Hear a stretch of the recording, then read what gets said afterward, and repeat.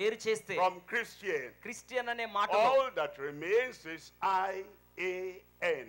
ఇక మిగిలేది ఏంటంటే ఐఏఎన్ I was I A N. ఒకప్పుడు నేను ఐఏఎన్గా ఉన్నాను I am nothing. అంటే ఐ యామ్ నథింగ్ నేనేమి కాను Without Christ in our lives, మన జీవితంలో క్రీస్తు without లేకుండా Christ in our heart, మన హృదయాల్లో క్రీస్తు లేకుండా all that remains is I am nothing. ఇక మిగిలి ఉండేదంతా నేను ఏమీ కాను That I am means I am not.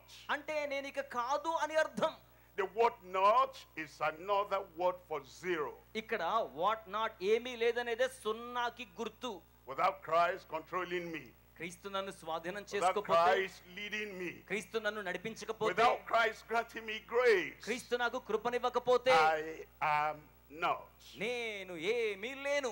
That what Christian అదే క్రైస్తవుడు అనే మాట రిమూవ్ మీరు క్రీస్తుని తీసేస్తే without Christ I am non essential క్రీస్తు లేకుండా నేను అవసరమైన వాణ్ణి కాను without Christ living in us క్రీస్తు మనలో జీవించకపోతే and without you living by the grace of Christ మీరు క్రీస్తు కృప ద్వారా ఆయనలో జీవిస్తే you are I am a non essential దాని అర్థం నేను అవసరమైన వాణ్ణి కాదు అని. So I carried on in number of years కనుక ఇన్ని సంవత్సరాలు ఇలాగే కొనసాగాను.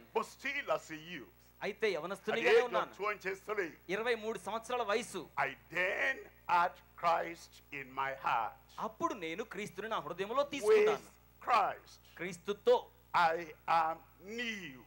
నేను ఆ విధంగా ఉన్నాను. The presence of Christ in our life ఇప్పుడు క్రీస్తు సాన్నిధ్యం నాలో ఉంది. Is the control of Christ in our life క్రీస్తు ఆధిపత్యం నా జీవితం మీద ఉంది. దట్ ఎ న్యూ బోర్న్ అది నూతనమైన జన్మకు నాంది. బోర్న్ అగైన్ తిరిగి జన్మించడం. బోర్న్ ఫ్రమ్ అబోవ్ పై నుండి జన్మించడం. బోర్న్ అనీవ్ అనగా నూతనమైన జన్మ. Christ coming in to the heart క్రీస్తు హృదయములోనికి రావడం ద్వారా. You become I am noble.